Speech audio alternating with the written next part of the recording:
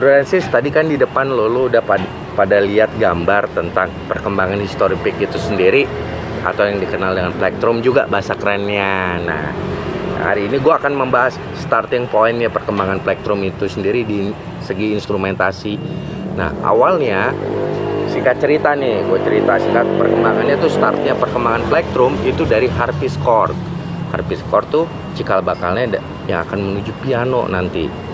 Nah, alat alatnya akan dijelaskan di gambar di bawah ini. Bentuknya kayak gimana cara maininnya.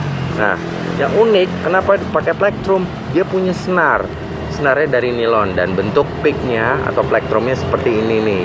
Broensis nih tuh. Tetetetetet lo bisa langsung tuh ntar dia bunyi deh. Tuk tuk tung ting ting. Nah tuh kocak kan? Nah terus abis itu yang nggak kalah menarik di Asia itu sendiri Broensis berkembang juga. Ada instrumentasi yang sangat legendaris banget namanya koto di Jepang. Itu picknya juga uh, bentuknya seperti ini juga cuman terbuatnya dari metal besi. Nah ini. Ini kayak pick kecapi. Nah tuh. Oke. Nah terus ada lagi instrumentasi yang namanya shamisen. Picknya itu terbuat dari kayu dan bentuknya seperti kape yang disebut baci. Nah, yang nggak kalah menarik, ntar lu bisa lihat di gambarnya tuh, lu bisa lihat nama bagian-bagiannya di bawah ini. Dan akan dijelaskan nanti cara maininnya gimana di gambar itu. Apa yang di bagian-bagiannya part ornamen instrumennya. Nah terus di Indonesia juga berkembang. Alat menggunakan plektrum itu sendiri di kecapi. Tadi gue jelasin picknya kayak besi ini contohnya seperti ini pik besi. Jadi nempel di segi jari nih. Tuh tiap jari. Tuh. Tring tring tring tring nah dari besi kenapa senarnya kawat? Dari steel. Nah berkembang lagi di Persia nih. Gue jelasin perkembangan piknya di negara Timur Tengah. Instrumentasinya namanya oud.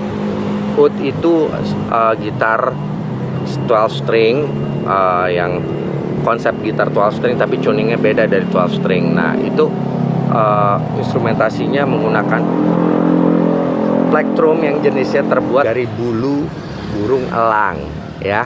Nah itu bro Rensis.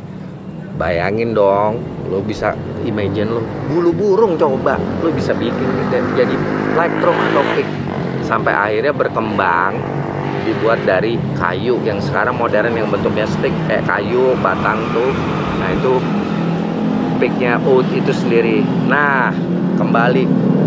Berkembangnya zaman berkembangnya industri terus uh, seiring berkembangnya industrial tuh akhirnya pick itu mulai dikenalkan secara industrial mass product alias kata diproduksi secara besar-besaran oleh sebuah perusahaan De Andrea yang pelopori penggunaan bahan film di bahan pick itu atau seloid.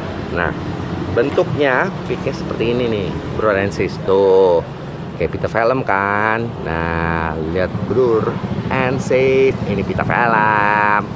Oke, nah berkembang terus. Gue nggak perlu bahas. Terus berkembang akhirnya sampai ketemu bahan yang namanya Delrin Delrin, sorry Delrin. Nah itu bahan plastik juga. Sih yang udah modern nih. Gua ada nih contohnya kayak gini Delrin. Tuh nggak gampang aus bro ensis. Nah tuh. Nah gua akhirnya uh, berkembangnya dengan industri yang sedemikian kompleks. Gua nggak perlu panjang lebar deh. Singkat cerita akhirnya mereka ciptain model-model ukuran size pick untuk kebutuhannya sendiri-sendiri. Ini gue kebetulan ada beberapa contoh dari koleksi pick gue, Bro Rensis ini. Nah, gue jelasin dari yang extra light, terus kemudian light, ini seperti ini light, terus medium seperti ini contohnya. Nah, terus heavy seperti ini terus ultra heavy tuh dua nah untuk ukurannya akan dijelasin di gambar di bawah ini Francis. Jelas detail speknya. Nah habis itu yang yang buat gua sendiri sih kalau dibilang kenapa gue koleksi pick? Karena gue punya dari gue sendiri pick itu punya kesan tersendiri. Dan gue jujur aja gue pemain gitar yang menggunakan pick atau plectrum uh, di samping fingerstyle cuman gue lebih banyak pakai pick terutama pas gue main elektrik. Nah ini ada beberapa pick yang menurut gue memorable. Satu dari sahabat gue sendiri rekan kerja gue sendiri. Nah ini pick dari Iin nih. Dulu ntar ada gambarnya loh Bro Rensis. Nah terus ada juga dari almarhum Bung Glenn Fredly. Tuh okay. terus ada dua nih gue dikasih yang sama baku cakarnya bandnya juga tuh. Baku cakar dikasih sama beliau. Terus ada juga yang dari Andra the Backbone. Nah ini tulisan Andra. Tuh tanda tangannya. Andra the Backbone. Ya yeah, bro bisa lihat. Nah terus ada lagi nih. Dari siapa ya ini sih dari gitaris. Dulu gue kenal zaman James lama. Gitarisnya Aneta Carmichael. Lupa gue namanya. Nih ini juga memorable buat gue kalau ditanya kesannya apa? Ya menurut gue kesan secara historical sentimental. Nah itu. Gue dapat dari itu. Kesan yang sentimental banget dan ya Bro Rensis bisa lihat eh, lebih bersifat pertemanan. Gue kenal sama mereka. Dan emang ya buat ya network lah di musik lah apalagi lah Bro Rensis terus uh, yang kalau lo tanya ada bedanya nggak ya tadi udah gue jelasin nah historisnya Nah, ada ada satu lagi nih yang yang menarik dari uh, perkembangan pick yang bentuknya tadi ada yang bahannya lucu nih. Koleksi gue juga dari bahan turtle, kulit kura-kura nih. Ini koleksi gue. Terus dari bahan tulang, bone, ini tulang benar-benar gading. Ini gue dikasih sama kolektor. Terus gue juga koleksi beberapa tampik nih jenis tampik modern. Ini. Yang buat finger style yang tadi gue bilang. Dari bahan Delrin tuh. Buat finger jadi di finger.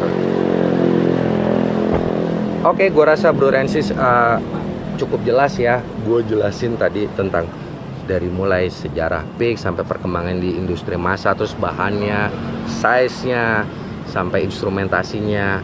Nah gue minta maaf dulu Bro Rensis sebelumnya karena gue pick up di pinggir jalan terus di tempat kopi yang agak berisik-berisik lah motor biasa seliweran lewat.